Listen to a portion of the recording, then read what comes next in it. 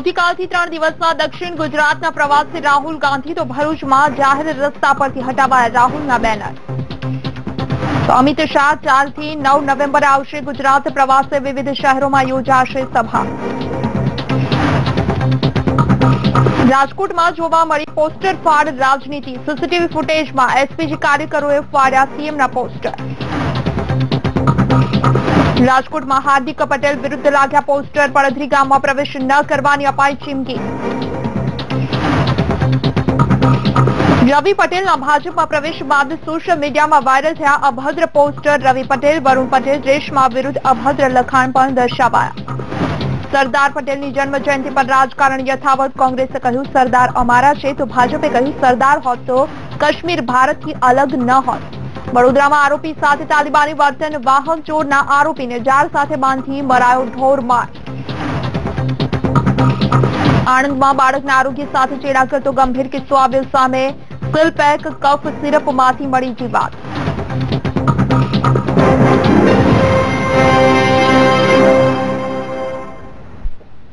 નમસ્કાર VTV news સાથે હું વિગતવાર સમાચારમાં વાત કરીએ. નરેન્દ્ર પટેલને લઈ એક સમાચાર મળી રહ્યા છે. કેશકાંડ મામલે ચર્ચામાં આવેલા નરેન્દ્ર પટેલને લઈ સમાચાર છે. મારા ઘરની જાસૂસી થઈ રહી હોવાની વાત નરેન્દ્ર પટેલે કરી છે. ગમે ત્યારે મારી હત્યા પણ કરી દેવામાં આવે છે.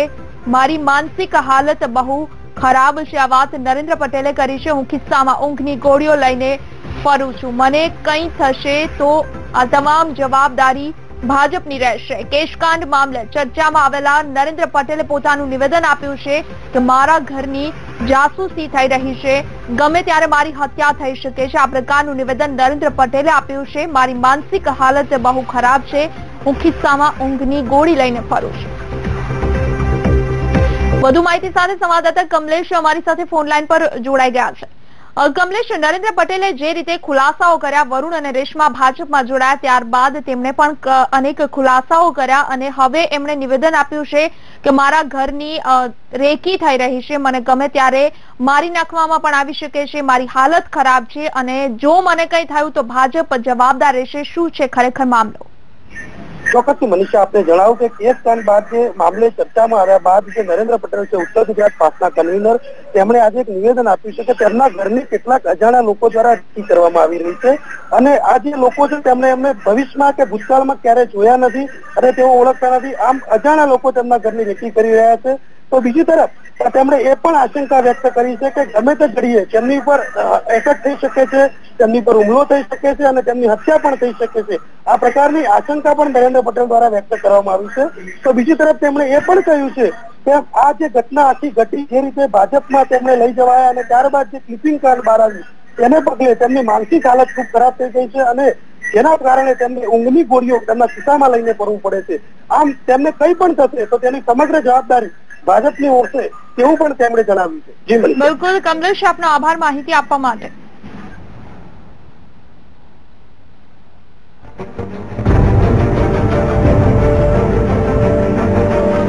સમાચાર ગાંધીધામથી મળી રહ્યા છે. અકસ્માતને લઈ સમાચાર મળી રહ્યા છે. ગાંધીધામના પડાણા ગામ નજીક અકસ્માત સર્જાયો હોવાના સમાચાર છે. એસટી બસ અને કાર વચ્ચે અકસ્માત સર્જાયો છે. અકસ્માતમાં ચાર લોકોના મોત થયા છે. તો બે લોકો ઇજાગ્રસ્ત થયા હોવાના સમાચાર ગાંધીધામથી પ્રાપ્ત થઈ રહ્યા છે. ઇજાગ્રસ્તોને સારવાર માટે હોસ્પિટલમાં ખસેડવામાં આવ્યા છે.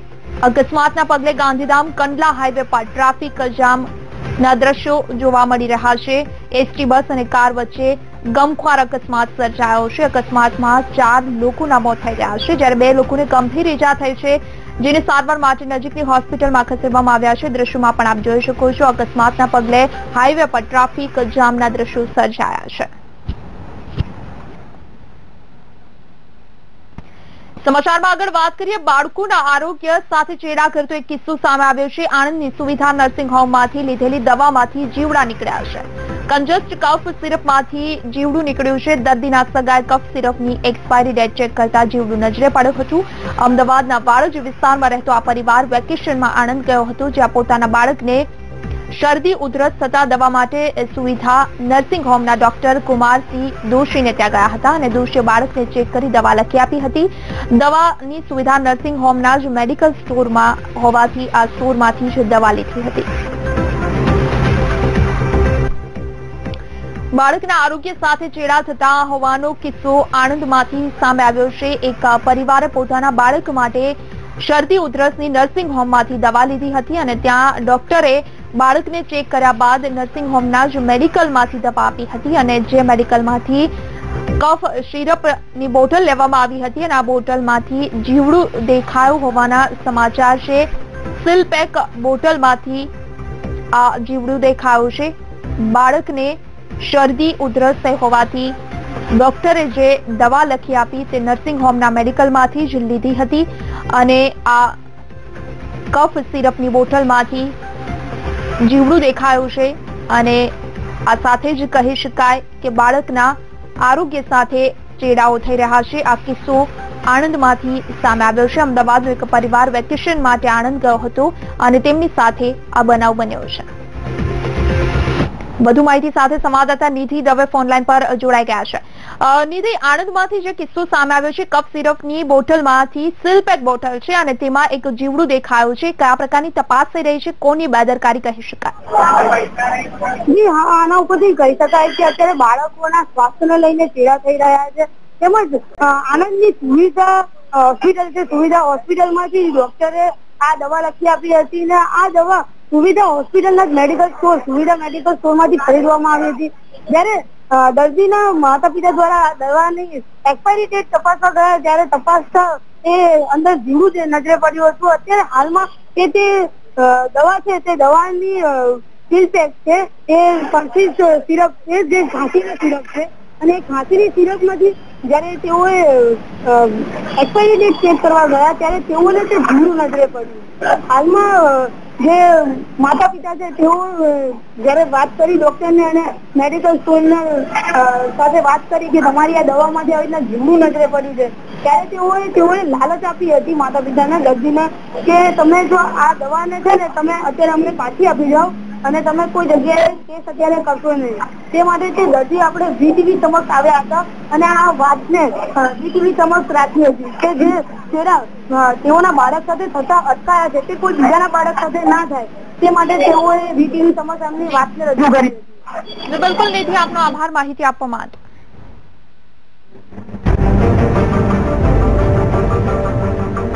વાત વડોદરાની કરીએ તો વડોદરામાં વાહન ચોર આરોપીને પોલીસ દ્વારા માર મારતો વીડિયો વાયરલ થયો છે. આરોપીને જાળ સાથે બાંધી પોલીસ દ્વારા માર મરાતો હોવાનો વાયરલ થયેલા વિડીયોમાં આરોપી અસહ્ય મારથી ચીસો પાડી રહ્યો છે. આ વીડિયો વડોદરાના વારસિયા પોલીસ સ્ટેશન છે.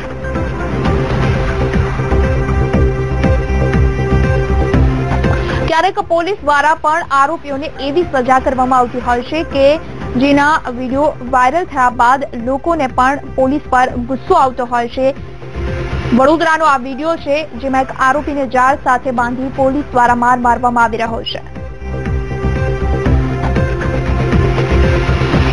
અમદાવાદના અસારવા વિસ્તારમાં ઉપવાસ પર બેઠેલા લોકોને પોલીસે ઉઠાડ્યા છે. પોલીસના ઉચ્ચ અધિકારીઓએ ઉપવાસ કરી રહેલા લોકોને ઉઠાડ્યા છે. છેલ્લા સત્યાવીસ દિવસથી વિનોદ ડોડિયા નામના વ્યક્તિ ઉપવાસ પર બેસ્યા છે. પોલીસ ફરિયાદ કરવાની માંગ સાથે ઉપવાસ આંદોલન ચાલુ છે. હાલ તો પોલીસ ઉપવાસ કરી રહેલા લોકોને બળજબરી પૂર્વક ઉઠાડી સિવિલ હોસ્પિટલમાં ખસેડ્યા છે અને ઉલ્લેખનીય છે કે વર્ષ બે હજાર પંદરમાં રસ્તો બંધ કરાતા પોલીસે લાઠીચાર્જ કર્યો હતો, જેને લઈ લોકોએ પીઆઈએલ કરી હતી, પરંતુ કોઈ જવાબ ન મળતા લોકો ઉપવાસ પર ઉતર્યા હતા. અસારવામાં ઉપવાસ પર બેઠેલા લોકોને પોલીસે સિવિલ હોસ્પિટલમાં ખસેડ્યા હતા. ઉપવાસ પરથી ઉઠાડ્યા બાદ સારવાર માટે હોસ્પિટલમાં ખસેડવામાં આવ્યા હતા. બે હજાર પંદરમાં પોલીસ દ્વારા લાઠીચાર્જ કરવામાં આવ્યો હતો અને લોકોએ આ અંગે પીઆઈએલ કરી હતી, પરંતુ હજી સુધી કોઈ જવાબ નથી મળ્યો અને જેના કારણે લોકો ઉપવાસ પર ઉતર્યા છે.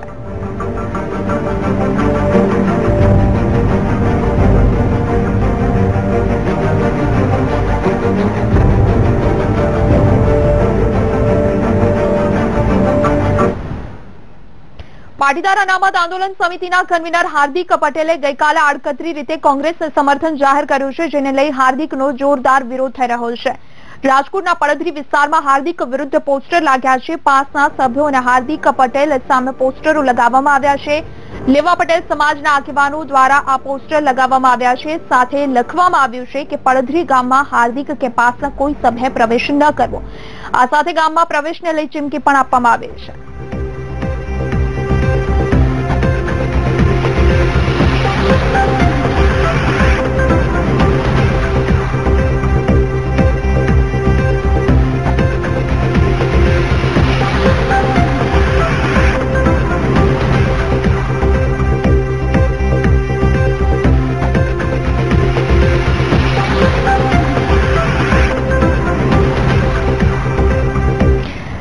સાબરકાંઠા પાસના કન્વીનર રવિ પટેલ ભાજપમાં જોડાતા સોશિયલ મીડિયામાં રવિનો લોકોએ ઉધડો લીધો છે. રવિને મહિલાના કપડાં પહેરાવેલા ફોટો વાયરલ થયા છે. સોશિયલ મીડિયામાં વાયરલ થયેલા ફોટોમાં નીચે અપશબ્દ લખવામાં આવ્યા છે અને રવિ પટેલ ગુમ થયો છે તેવું પણ લખવામાં આવ્યું છે. તો આ સાથે ભાજપમાં જોડાયેલા રેશમા પટેલ અને વરુણ પટેલના ફોટો પણ સોશિયલ મીડિયામાં વાયરલ કરવામાં આવ્યા છે, જેમાં પણ અનેક અપશબ્દો લખવામાં આવ્યા છે.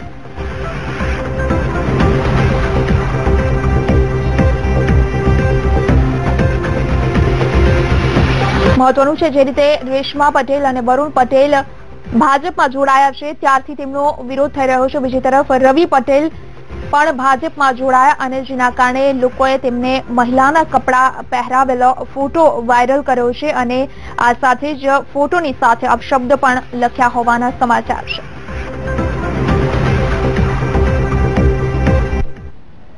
કોંગ્રેસ ઉપાધ્યક્ષ રાહુલ ગાંધી ગુજરાત પ્રવાસે આવી રહ્યા છે ત્યારે ભરૂચમાં રાહુલ ગાંધીના બેનરો મુખ્ય માર્ગો પરથી હટાવવામાં આવ્યા છે. રાહુલના આગમન પહેલા પોસ્ટરો હટાવવામાં આવ્યા છે. નગરપાલિકા તંત્ર દ્વારા સરકારી જાહેર જગ્યા પર લગાવેલા બેનર અને પોસ્ટર હટાવી લેવામાં આવ્યા છે.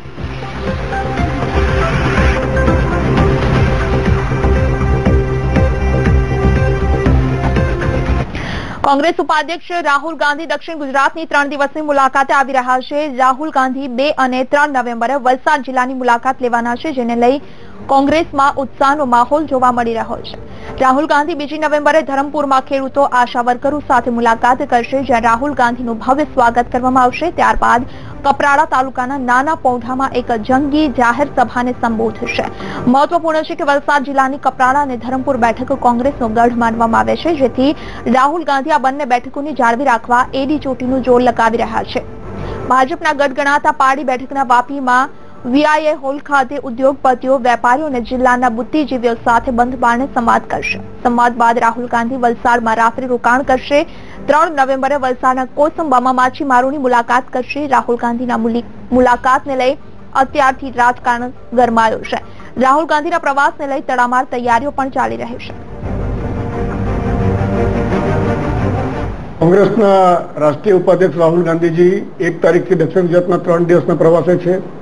એમાં બે તારીખે ઉનાઈ માતાના મંદિરે દર્શન કરી અને ત્યારબાદ ધરમપુર ખાતે પ્રવેશ કરશે. ધરમપુર ખાતે આંગણવાડી બહેનો અને આશા વર્કરો જોડે એમની મિટિંગ છે, મુલાકાત છે. એમનું સ્વાગત થશે.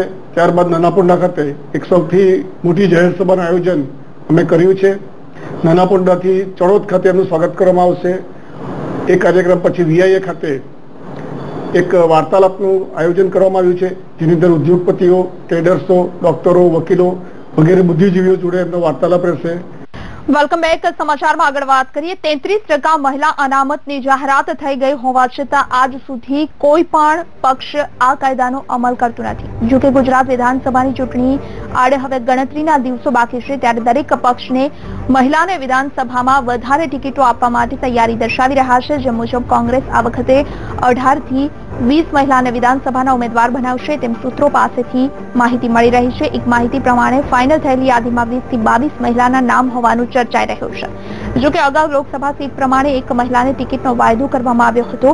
એટલે કે છવ્વીસ જેટલા મહિલા ઉમેદવારોને ટિકિટ મળવાની સંભાવના હતી, પરંતુ કેટલીક જગ્યાએ સબળ મહિલા ઉમેદવાર ન મળવાના કારણે હાલ માત્ર અઢારથી વીસ જેટલી મહિલાને જ વિધાનસભા ટિકિટ મળવાની સંભાવના છે.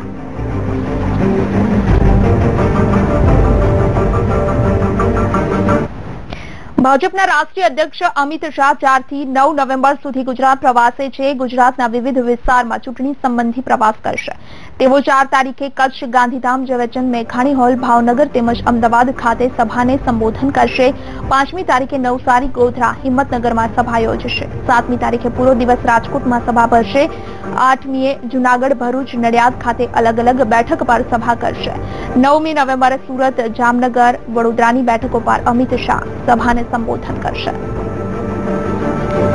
મહત્વનું છે વિધાનસભાની ચૂંટણીને હવે ગણતરીના દિવસો બાકી રહ્યા છે ત્યારે અમિત શાહ ફરી એક વખત ગુજરાત પ્રવાસે આવી રહ્યા છે. ચારથી નવ નવેમ્બર સુધીનો અમિત શાહનો ગુજરાત પ્રવાસ રહેશે. સરદાર પટેલની જન્મ જયંતિના દિવસે સરદાર સાહેબ કોના તે બાબતે વિવાદ થયો છે. સવારે મુખ્યમંત્રી વિજય રૂપાણીએ સરદાર સાહેબ કોંગ્રેસના નથી તેવી ટિપ્પણી કરી અને જેના કારણે વિવાદ શરૂ થયો. જોકે વડોદરા આવેલા કોંગ્રેસના પ્રદેશ પ્રમુખ ભરતસિંહ સોલંકીએ મુખ્યમંત્રીના નિવેદન બાબતે પ્રતિક્રિયા આપી અને સરદાર સાહેબ કોંગ્રેસના પ્રદેશ પ્રમુખ હતા અને આરએસએસ પર પ્રતિબંધ પણ સરદાર સાહેબે જ લગાવ્યો હતો. જો આજે સરદાર સાહેબ હોત તો ભાજપનું અસ્તિત્વ જ ન હોય તેવી પણ વાત કરી હતી. તેમજ મુખ્યમંત્રીએ આવા નિવેદન કરવાના બદલે સિવિલમાં બાળકોના મોતની ચિંતા કરવાની જરૂર હોવાનું પણ જણાવ્યું. આગામી ચૂંટણીમાં કોંગ્રેસને એકસો પચીસથી વધુ બેઠકો પર વિજય મળવાની આશા વ્યક્ત કરી હતી.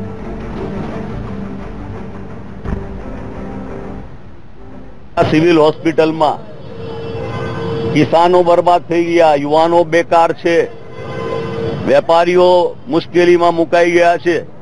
ત્યારે લોકોની ચિંતા કરવાને બદલે રાજકીય ધમ પછાડા, બૂમ બરાડા અને બકવાસ કરવાનું બંધ કરે. સરદાર વલ્લભભાઈ પટેલ ગુજરાત પ્રદેશ કોંગ્રેસ સમિતિના પચીસ વર્ષ સુધી પ્રમુખ રહ્યા હતા. મને આનંદ છે કે એવી મહાન વિભૂતિના પગલે પગલે કામ કરવાનો મને મોકો મળ્યો છે. જ્યારે ગોઠવાય ત્યારે વાત થઈ શકે, અત્યારે એવી કોઈ વાત નથી. કેટલી સીટની શક્યતા અને સરકાર બનાવવા માટે? એકસો પચીસ કરતા વધારે બેઠકો કોંગ્રેસ મેળવશે અને સત્તા પર આવશે.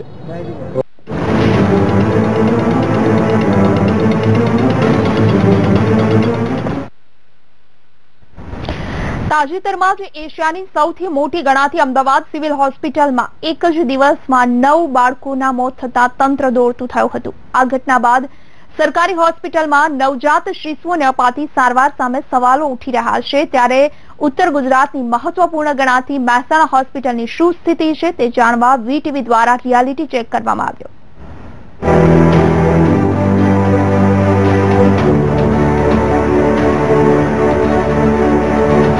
આ છે ઉત્તર ગુજરાતની મહત્વપૂર્ણ ગણાતી મહેસાણા સિવિલ હોસ્પિટલ.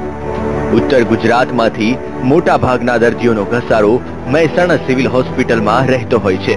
વીટીવીની ટીમ દ્વારા રાજ્યની સરકારી હોસ્પિટલોમાં પીડિયાટ્રિક વિભાગની શું સ્થિતિ છે તેનું રિયાલિટી ચેક કરવામાં આવી રહ્યું છે. ત્યારે મહેસાણા સિવિલ હોસ્પિટલના પીડિયાટ્રિક વિભાગની શું સ્થિતિ છે તે જાણવાનો પ્રયાસ અમારા સંવાદદાતાએ કર્યો હતો. જિલ્લાનું મુખ્ય કેન્દ્ર હોવાથી અને ઉત્તર ગુજરાતમાંથી બધે જ રિફર દર્દીઓ આવવાથી અહીંયા સઘન સારવારની જરૂર પડે એવા બાળકો બી આવે છે. એટલે જે બાળકોને અમદાવાદ મોકલવા જ પડે, પણ છતાં દર્દીઓ જવા તૈયાર થતા નથી. એટલે પછી આપણે અહીંયા રાખવા પડે છે.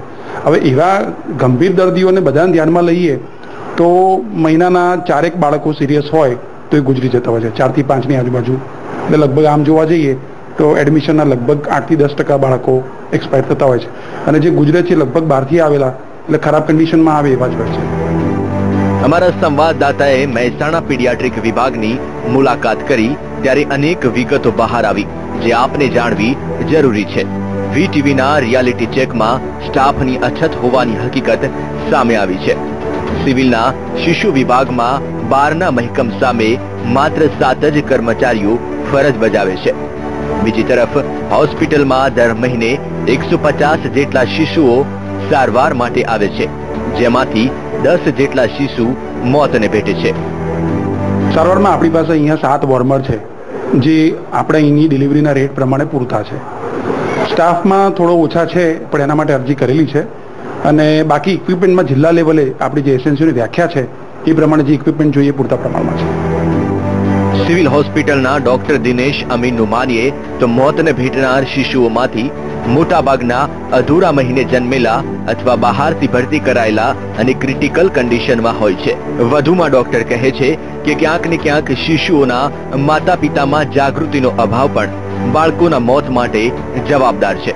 રિયાલિટી ચેકમાં વધુ એ પણ સામે આવ્યું કે સિવિલ હોસ્પિટલમાં આધુનિક સાધનો પૂરતા પ્રમાણમાં ઉપલબ્ધ છે. પરંતુ મહેકમ પ્રમાણે પીડિયાટ્રિક વિભાગમાં સ્ટાફની જલ્દી ભરતી થાય તે પણ જરૂરી છે. મહેસાણાથી સંવાદદાતા કમલેશ રાવલનો રિપોર્ટ વીટીવી ન્યૂઝ. આજે સમગ્ર દેશ સરદાર પટેલની જન્મ જયંતિ ઉજવી રહ્યું છે. અમદાવાદ શહેરના ઘાટલોડિયામાં રન ફોર યુનિટીનું આયોજન કરવામાં આવ્યું હતું. ઉલ્લેખનીય છે, એકત્રીસ ઓક્ટોબર અઢારસો પંચોતેરમાં સરદાર વલ્લભભાઈ પટેલનો જન્મ થયો હતો અને તેમની યાદમાં આ દિવસની ઉજવણી કરવામાં આવી રહી છે. અમદાવાદના ઠક્કર વિસ્તારમાં પણ રન ફોર યુનિટીનું આયોજન કરવામાં આવ્યું હતું. આ રન ફોર યુનિટીનું ઉદઘાટન વલ્લભ કાકડિયાએ કરાવ્યું હતું. જામનગરમાં એકતા દોડ રન ફોર યુનિટીનું આયોજન કરવામાં આવ્યું હતું અને આ દિવસને રાષ્ટ્રીય એકતા દિવસ તરીકે ઉજવવામાં આવ્યો હતો. આ પ્રસંગે લાલ બંગલાથી પટેલ સમાજ સુધી દોડ રનનું આયોજન કરવામાં આવ્યું હતું. જુનાગઢ ખાતે પાટીદાર અનામત આંદોલન સમિતિના યુવાનો દ્વારા સરદાર પટેલ જન્મ જયંતિની ઉજવણી કરવામાં આવી હતી, જેમાં સરદાર ચોક ખાતે મોટા પ્રમાણમાં યુવાનો જોડાયા હતા. બોટાદમાં સરકારી હાઈસ્કૂલથી યાર્ડ સુધી દોડ લગાવી સરદાર વલ્લભભાઈ પટેલના સ્ટેચ્યુને ફુલહાર કરવામાં આવ્યા હતા. આ કાર્યક્રમમાં ભાજપના અગ્રણીઓ સહિત પોલીસ કોન્સ્ટેબલો, વિદ્યાર્થીઓ, વેપારીઓ અને સ્થાનિકો હાજર રહ્યા હતા. રાજકોટમાં બહુમાળી ચોકમાં સરદાર વલ્લભભાઈ પટેલની પ્રતિમાને ફુલહાર અર્પણ કરવામાં આવ્યો. રાજકોટ યુવા ભાજપના કાર્યકરો જોડાયા અને બહુમાળી ચોકથી જિલ્લા પંચાયત ચોક સુધી દોડ લગાવી હતી.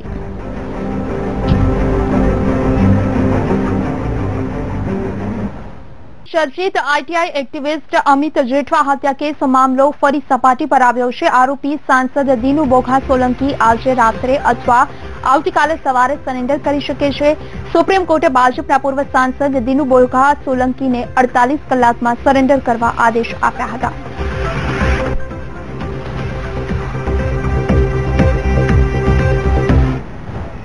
મુંબઈથી દિલ્હી જતી જેટ એરજેટની ફ્લાઇટમાં ઉર્દુ અને અંગ્રેજી ભાષામાં લખેલ એક ચિઠ્ઠી મળી આવી હતી. આ ઘટનાના પગલે એરપોર્ટ પર તાત્કાલિક પ્લેન લેન્ડિંગ કરવામાં આવ્યું હતું. ક્રાઇમ બ્રાન્ચે આ મુદ્દે તપાસ હાથ ધરી હતી. સીસીટીવીના આધારે પોલીસે એક શખ્સની ધરપકડ કરી છે. આ શખ્સની કબૂલાત સાંભળી પોલીસ ખુદ ચોંકી ગઈ હતી.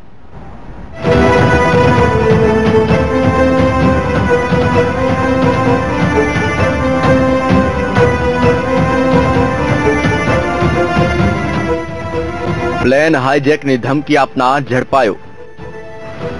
સીસીટીવી ફૂટેજ બન્યા સાક્ષી. ટીવી સ્ક્રીન પર જોવા મળતા આ યુવક પર એક નજર કરો. આ શખ્સે જેટ એરબેઝની ફ્લાઇટને હાઈજેક કરવાની ધમકીની ચિઠ્ઠી લખીને અનેક પ્રવાસીઓના શ્વાસ અધ્ધર ચડાવી દીધા હતા. આ પૂરી ઘટના રવિવારના રોજ સામે આવી હતી. પૂરી ઘટના કંઈક આવી હતી. ફોટોમાં જોવા મળતા આ યુવકની ઓળખ કરી લઈએ. નામ બિરજુ કિશોર કુમાર સલ્લા. રહેવાસી મુંબઈ. વતન રાજુલા. ધંધો જ્વેલરીનો. પ્લેન હાઈજેકની ધમકી આપનાર યુવકની આવી ઓળખ છે. બિરજુ કિશોર કુમાર સલ્લા રવિવારે રાત્રે મુંબઈથી દિલ્હી જતી જેટ એરબેઝની ફ્લાઇટમાં બિઝનેસ ક્લાસમાં મુસાફરી કરતો હતો. પહેલેથી તેઓ ટોયલેટમાં ઉપયોગમાં લેવાતા ટિશ્યુ પેપર હોલ્ડરમાં ઉર્દુ અને અંગ્રેજી ભાષામાં સોફ્ટવેરની મદદથી ચિઠ્ઠી લખીને લાવ્યો હતો. આ ચિઠ્ઠીમાં લખ્યું હતું કે પ્લેન હાઈજેક કરી પીઓકે લઈ જવાશે અને ત્યાં લેન્ડ નહીં કરાય તો બાર અપહરણકારો પાસે રહેલા બોમ્બથી ઉડાડી દેવામાં આવશે. તેઓ સંદેશો ચિઠ્ઠીમાં લખ્યો હતો. પછી ફ્લાઇટનું ઇમરજન્સી લેન્ડિંગ કરવામાં આવ્યું હતું. सैटरडे दोपहर को अपनी ऑफिस के अंदर वो टाइप की गई थी चिट्ठी और अपने लैपटॉप पर की गई थी वो लैपटॉप अभी वहाँ पे है तो हम लोगों ने इनके ये आदमी के विरुद्ध में हमने गुना दाखिल किया है इसको अरेस्ट किया है और अ, बॉम्बे हमारी पूरी टीम वहाँ पे चली गई है डॉक्टर राजीव सिंह जाला इनकी अभी इन्वेस्टिगेशन कर रहे हैं કેવી રીતે આરોપીની ધરપકડ થઈ અમદાવાદ એરપોર્ટ ખાતે ક્રાઇમ બ્રાન્ચે ફ્લાઇટમાં મુસાફરી કરતા એકસો ને સોળ પેસેન્જરો અને નવ ક્રૂ મેમ્બરોની પ્રાથમિક પૂછપરછ કરી હતી. આરોપીએ બદલાની ભાવના રાખીને આ કામ કર્યું હતું. બિરજુ એરજેટમાં નોકરી કરતી એક યુવતી સાથે પ્રેમ કરતો હતો. જ્યારે તે મુંબઈથી દિલ્હી ફ્લાઇટમાં જતો હતો, ત્યારે ક્યારે મુલાકાત થતી હતી. પરંતુ આરોપી એવું માનતો હતો કે જો એરજેટને બદનામ કરવામાં આવે, તો તે કંપની બંધ થઈ જાય. અને તેની પ્રેમિકાની નોકરી છૂટી તે માટે બનાવટી ધમકીનું નાટક કર્યું હતું. આરોપીએ બદલાની ભાવના રાખીને પૂરી ઘટનાને અંજામ આપ્યો હતો. ક્રાઇમ બ્રાન્ચે તેની વિરુદ્ધ હાઈજેકિંગનો ગુનો નોંધી વધારે તપાસ માટે તેને મુંબઈ લઈ ગઈ છે. તપાસમાં એનઆઈએની ટીમે પણ ઝંપલાવ્યું છે. અમદાવાદ ક્રાઇમ બ્રાન્ચ સલ્લાને એનઆઈએની ટીમ પાસે મુંબઈ લઈ ગઈ છે. ત્યાં તેની પૂછપરછ કરી રહી છે. ધમકીની ચિઠ્ઠી મામલે હજુ વિગત સામે આવે તેવી શક્યતા છે. Bureau report VTV news Ahmedabad.